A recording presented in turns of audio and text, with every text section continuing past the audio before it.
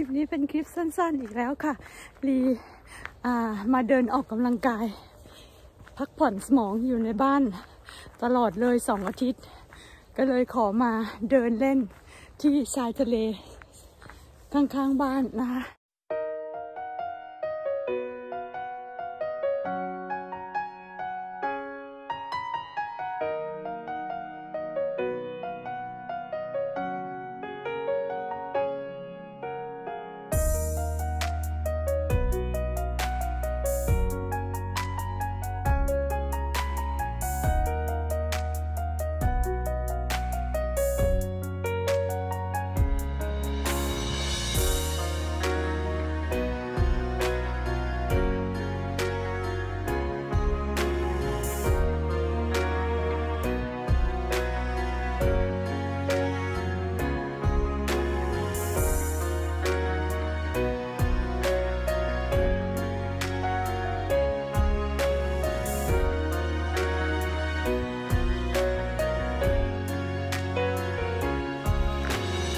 บอกกับแฟนว่าจะไม่ถ่ายวิดีโอ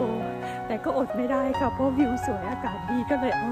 ภาพสวยๆมาฝากเพื่อนๆใบไม้แห้งแล้วค่ะต้นต้นเดือนพฤศจิกา